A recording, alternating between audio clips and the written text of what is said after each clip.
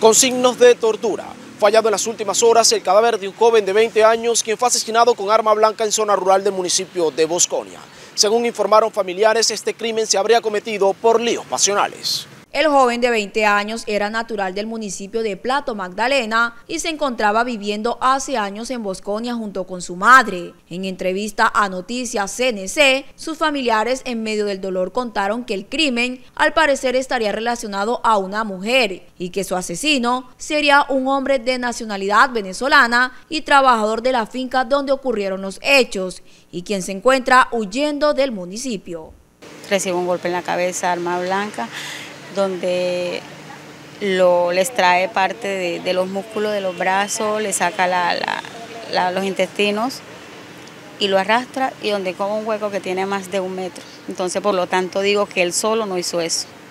Lo amarró con un, alambre, le amarra las manos hacia adelante, entonces con él hay otras personas. El tipo se llama Carlos Alberto Barrio, alias El Guayo.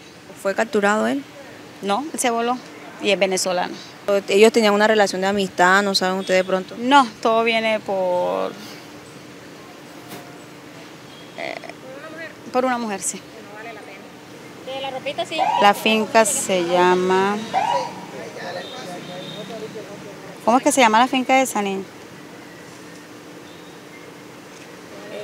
Él, él se encontraba en el momento de los hechos, se encontraba solo en la, en la vivienda, en la finca.